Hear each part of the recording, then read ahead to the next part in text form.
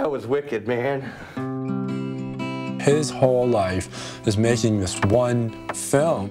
You, you have two hours tomorrow from 11 a.m. to 1 p.m. and be an extra in a film. You get your name on the credits, man, as a producer. And of course, there'll be a whole crowd of people here, so we got to make like a line where people can't go. Have a hell of a lot of assistant directors saying, hey, hey, could you step back like five feet?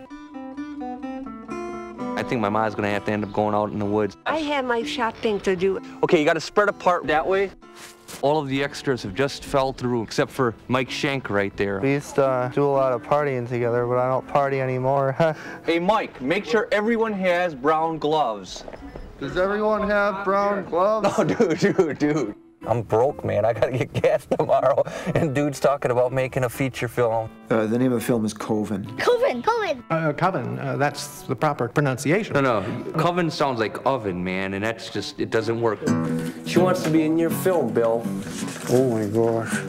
You get your three grand back. It's the first line of the film, man. It's gotta be on the money. It's all right. Uh...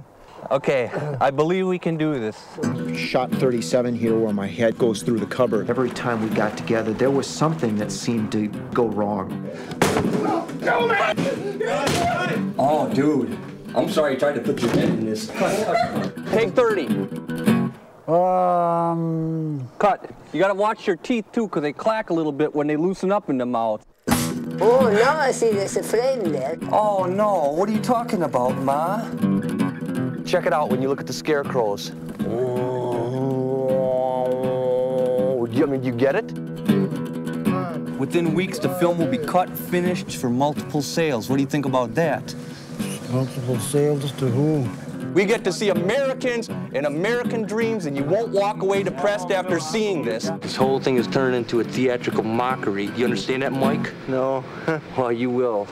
Would you buy this movie for $14.95? Hell yeah, man. If I can find 3,000 people like you across this country, man, I'm in business.